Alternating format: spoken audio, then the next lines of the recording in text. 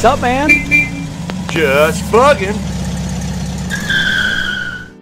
Hey guys, so we're gonna take Pee Wee out on a little drive after it's completely restored. I got to drive it right before it was gonna be restored, and now I get to drive it after it's done being restored. So it's like a little final victory lap, as Sam said when I was talking to him at the Henry's Depot car show. So yeah, uh, it's gonna be fun.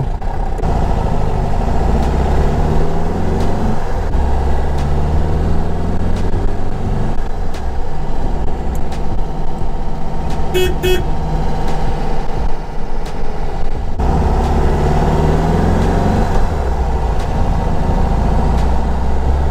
Wee drives great, man.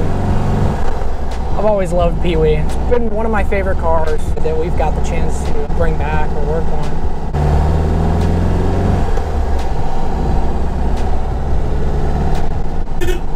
Love that horn.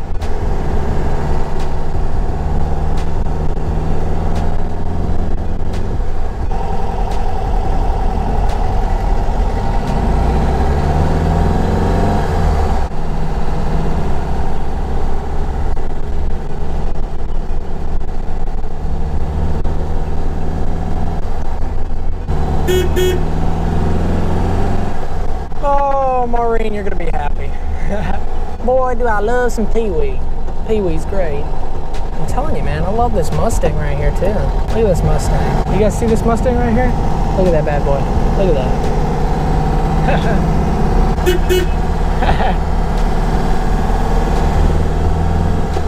well, I think Pee Wee's ready for Maureen to enjoy.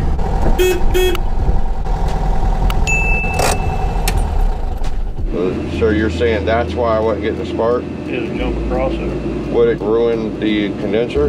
Yes, it can. So it, it'd probably burn the condenser in that corner sitting there touching the base. Probably. Okay. All right. Well, I don't know. I've never dealt with anything two-piece points, so that was just my question with you. You would know that more than I would. There's no instructions. I tell you, I look all over the YouTube. No instructions. Hey, here's some two-piece things. Put them together. Figure it out. Um, what you determine on that? the band that goes over this piece, it doesn't get covered in plastic like this. It comes with a piece like this. I had to use the other piece that gives you a nut on the other side, but it goes all the way over it. Apparently the corner's touching the bottom of this, and the current's not supposed to get into the base. The current's supposed to go through this, through the condenser, and stay with a non-conductive material to keep it separate from the base. But I've never experienced dealing with that. So what are you gonna do? Just replace the condenser then? Yeah, I got an extra condenser. This is not pertinent right now. I already have our issue taken care of right now, but yes, I want this to be on the car. It's OG, you know. OG. Yeah, I saw Gary shake this and I didn't think about that. It could be a pinhole in there and could be fluid in there and this is sinking. I haven't had anything that really had a 28 on it. So like I said, it's all always PW I've ever worked on. So come to the guys that know. Isn't this really cool though? Look at this. Yeah, isn't that cool? Original Bosch. Yeah, I made sure I brought it back. There it is. And you see it says it right on the side, right there. Says it right there, the same thing that's on that package. So what it is, is I just didn't realize it's grounding out. Could have taken out the condenser, but it's that, just that little corner. When I was asking him, I looked at it, and you see that little corner way down there of this metal? It's touching the base. That is supposed to prevent the current from getting into the base of the of this and only go through the contact. So this metal connected to the wire is touching the base. So that's why I'm not getting spark. Live and learn. I don't know everything, but It's like a new in the yeah, I think I must have rebuilt it about a year ago or so when we rebuilt the motor. Yeah, it is. Yeah. So you take it, this was probably sinking. It had a I pinhole so. in it. I didn't think about that. Yeah, it's the original one. Yeah, This so very likely, yeah. But it's adjustable. Another thing is the thickness Of the washer? Of the copper under there. Right. That raises and lowers too, but Right. you can adjust it with this one. And so I could just bend this piece Yeah. right here up Yep. and down, and up would. Up shuts the fuel off quicker. Right. Okay. I think that was your problem. I think this thing just, they seep around there. That makes sense. It's possible. I didn't think of that then. You can adjust this by bending this up and down the whole. Right. I did see that adjusting that, but I didn't see where you could do it right in the center where it touches. do it with this one. Yeah, I was trying to be careful. I didn't want to break that, and it's probably already broken. it has a pinhole or some- crack or something in it. The throttle shaft is, you know, it's got a little wear in it, but look how old it is. Right, but there still shouldn't be any fuel in the barrel when you shut off the motor other than if it's You shut the fuel off, overflowing. But you still dripping tears because the Right. seat's not shutting off. Right, right. Take that out. Or the out. float is sinking down and leaving the needle seat open, the same thing, you know? Cool. Oh, damn, look, Look yeah. at that. There's a million dollars. There it is. See, it's got bent over tabs on it. Doesn't have spacers in there. Hang on with that. That looks like the same one. That totally wasn't scripted. No, a little bit. We No, just like, he oh, said- oh, he, he said, "Put it." that back, like, put put that back. Here, here, Gary, do that again. I was surprised when I picked it up. yeah, man. Didn't have to make that one. No, I just want to see that portion get hot when you put 12 volts to it. That's all I want to see. Oh, that's it. Here. Here we go. Another one? No, I thought it did. Yeah. See, they all got spacers. This one don't. Like bent over tab. I've never seen that. Yeah, that's older. It means it's older, man. It says Solex on it. No Bolex here. Yeah. Look at that. Made in Germany. Yeah. Find a reman guy buys carburetor and sell him a stack. Oh, I, yeah, I saw that today when Microsource sent me someone that remans these. Yeah. And he had thirty dollars a core. There's a guy in California apparently because I got two on the bench. Uh-huh. The guy that I told you about that barn fine 64 split window bus. Yeah. His carburetor is on the bench over there. Come back for somebody to reman. He seen it all. Huh. There's a 25 horse. If you know anybody that's looking. Oh yeah, the one with the alternator stand part 25 of the case. horsepower short block. Uh, Yeah, yeah. Fuel It's got that distributor on it, right? all That's like that wide body distributor. like a distributor. 50s 50s motor. Yes. Yeah. Yeah. 25 Yeah, horse. Twenty-five. Nice. No, look at that. What? Can you see? You got good eyes? Is there a connection from that spring to that? Looks like it's busted. I mean, it's there, but it's like Yeah, is it making contact? I mean, it's it broken? touching. It's the spring is touching this little thingy, but it's black on the end. Right, it might be burnt. Yours is burned up bad. Yeah, see? That's why it's not working. See That's it? why it won't work. Like a toaster. Yes. That spring burns Well, this out, looks blues. better than that. Okay, well, let's So- go with this one then. What the hell we got the blues? At the end of the day, it, Either it don't work or worse. eh, Yeah. I don't know. Do you think it'll survive a little sandpaper on it? This, Yeah. I was hoping to get the one you already did off, but it's not. Oh, it's probably connected Yeah, to it something is. else. It is. Yeah. It is connected. Okay, so then just say grabbing one of these tabs Yes. is what makes the contact. When the Okay. choke goes around, All right. gotta be in that groove right there. Huh. Yeah, it's definitely different than anyone I've ever seen. yeah, that is burnt. I've never seen this with Yeah. the tabs been over. This one's not burnt up. No, it's If not. them burnt. wires are still making contact, this one's They were good. good. This Yeah. one definitely is burned up. See how black it is in there. Well, Maureen, that's why your choke doesn't work.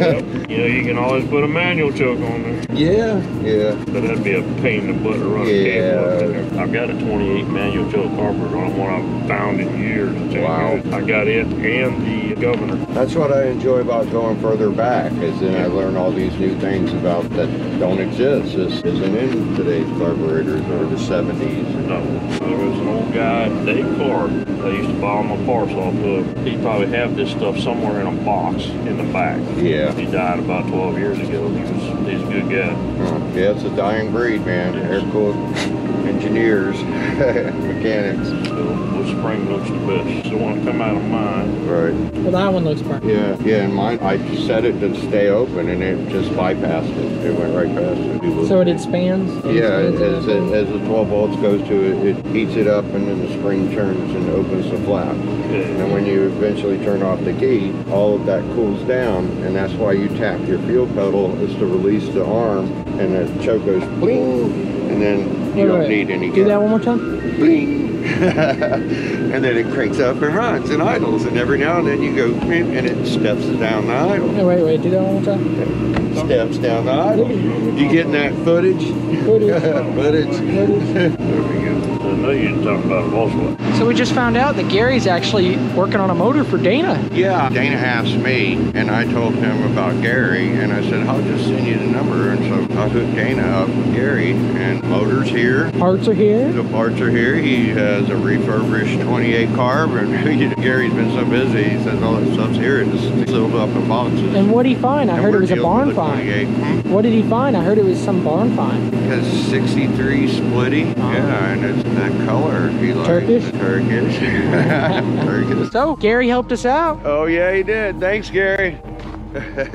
He's busy with something, selling a bug, you know. Well, you can see the element and everything, the springs. Apparently the contacts are burnt on the ends. It's not making a full connection. So that's the choke. And it appears that we might have one that works. We're gonna have to see. And then my problem with the fuel coming out the shaft is not necessarily the needle valve It's brand new. This is the original float. And he suspects there's probably a pinhole in it or something and that that was sinking, you know, and allowing it not to close the needle valve. So we're gonna see. I really feel confident we got it now. Sweet. Thanks to Gary. Thank you, Gary. Appreciate it, Gary.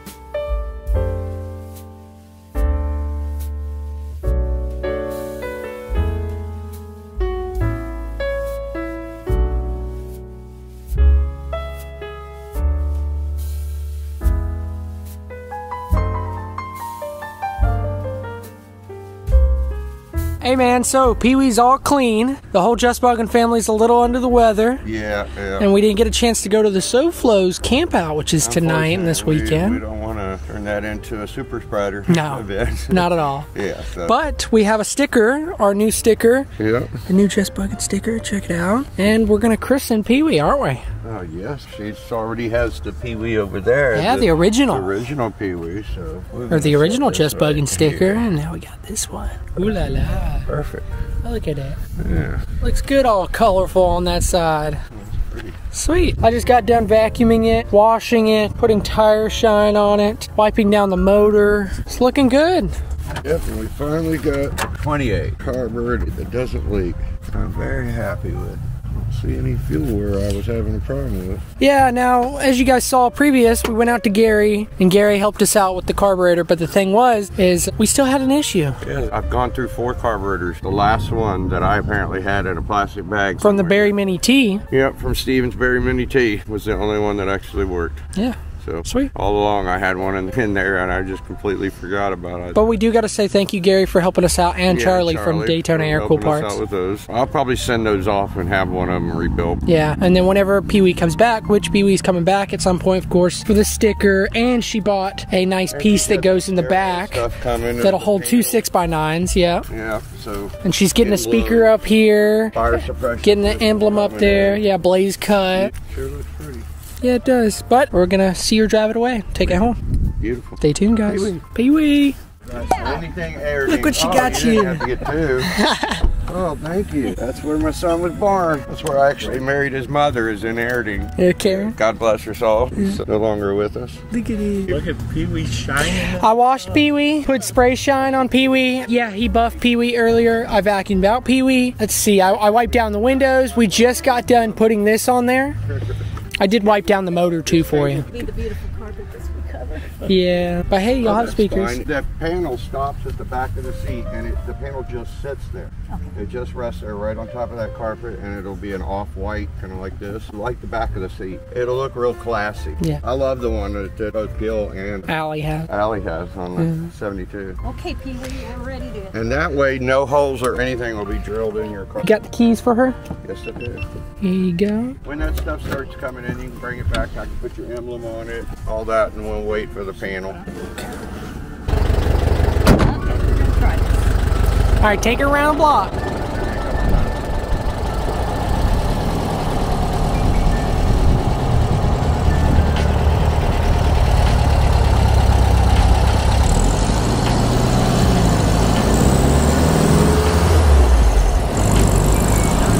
Yeah, it is.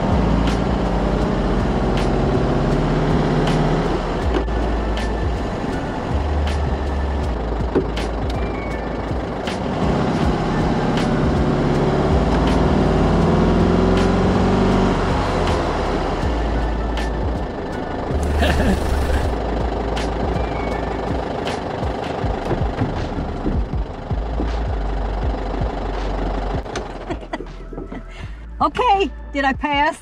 Yeah, I think you did. Well, how you like her? I love Leave it right in the center. Okay. And uh, this, where we were having a carburetor fuel leak is on the ends of these shafts. I don't see anything now.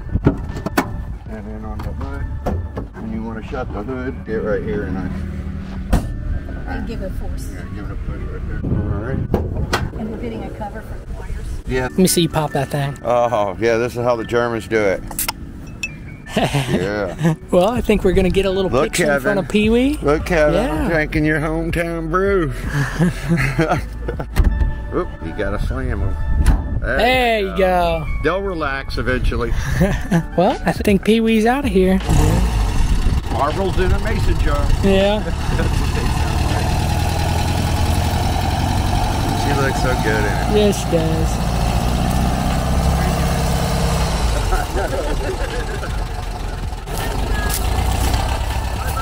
Goodbye.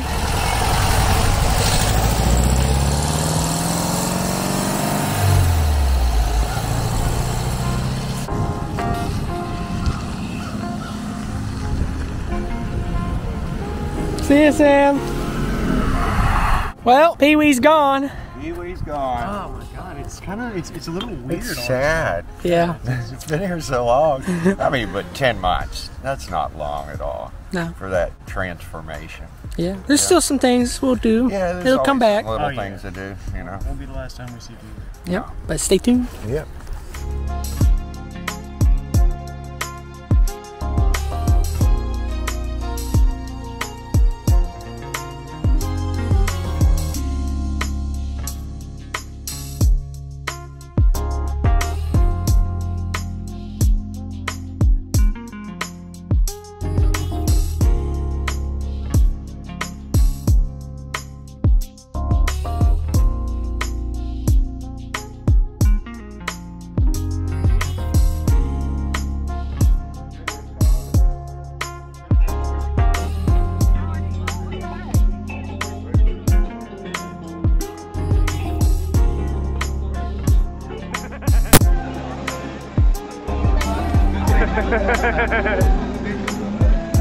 Alright.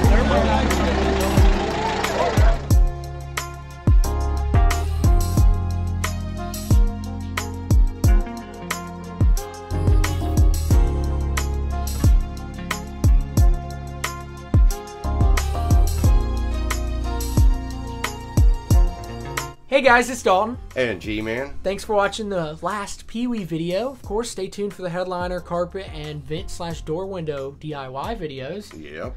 But yeah, we got to say thank you to Gary for helping us out with the carburetor, and also And Charlie. Yeah, and the distributor and Yeah. the points. Also, thank you Charlie at Daytona Air Cool Parts for giving my father a 28 and a 30 PICT carb. And Yeah, I was actually going to run them out to Groveland, the carburetors out there to Jerry in Groveland. Very knowledgeable. we saw bug jam. We met him at Bug Jam and had a good conversation with him. So I was boxing them all up and working on something else, and I ran into a carburetor in a Ziploc baggie that I forgot I had from an old build.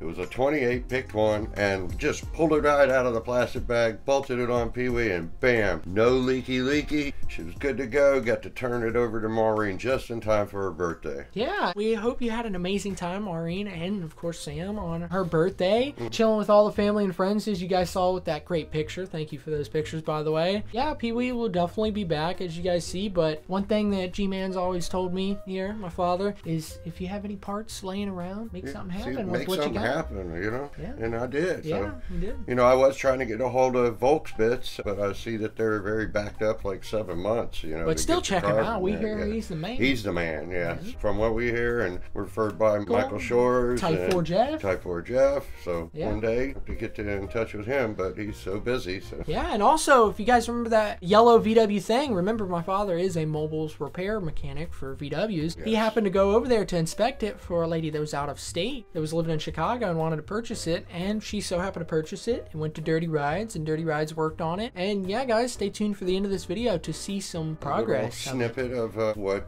Jeremy did to it over at Dirty Rides. Yeah, so- turned it over to Jackie. yeah, so stay tuned for that. But yeah, guys, thanks for watching the last Pee Wee video. If you love it, definitely showed some love. Thanks for all the love from the Henry's video. Sorry for the delay on this one, but can't believe that video is doing That was so a well. great show. Great Yeah, turnout for the weather that was there. Everyone just got out there and had a good time. Yeah, and thank you everybody for sharing it and giving it some love. But yeah, guys, thanks for watching this video. Hope you guys enjoyed it. Drop a like, comment, subscribe, and have a just bugging of a day. And keep on bugging.